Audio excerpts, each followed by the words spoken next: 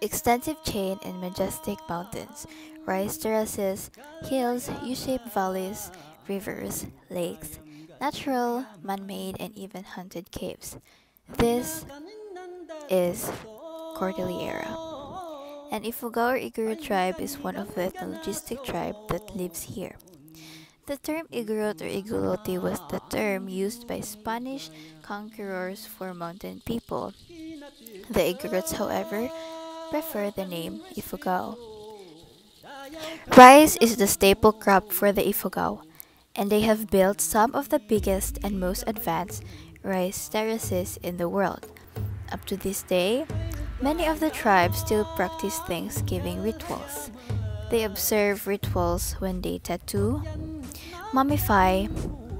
It also includes chanting, playing of gongs, dancing, drinking wine, and sharing food.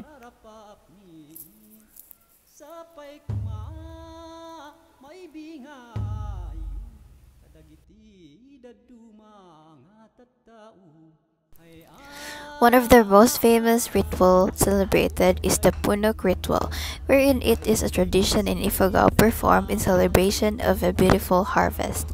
Punok, which is held along the Hapao River, marks the completion and the rice harvest and the beginning of a new agricultural cycle.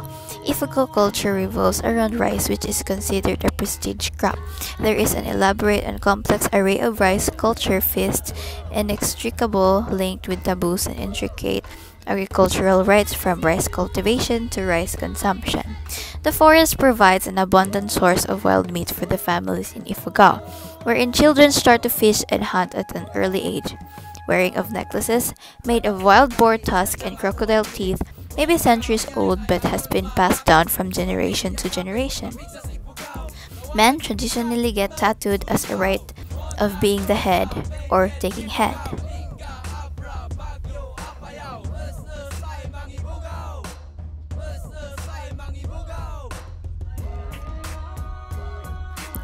On the other hand, women would get tattooed as a sign of beauty.